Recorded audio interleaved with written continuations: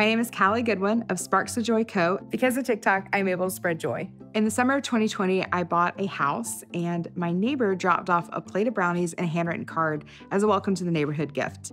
That brought me so much joy. I realized that I wanted to send some cards to my friends so that they had my new address, and Sparks of Joy Co. was born.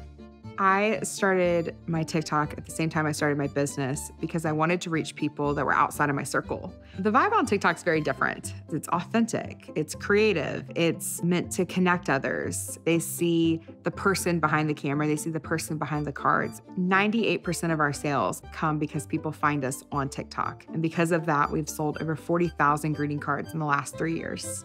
I am who I am, and TikTok gets to see all of that. You come authentically as who you are, creating a community that cares for each other and loves each other and is connected.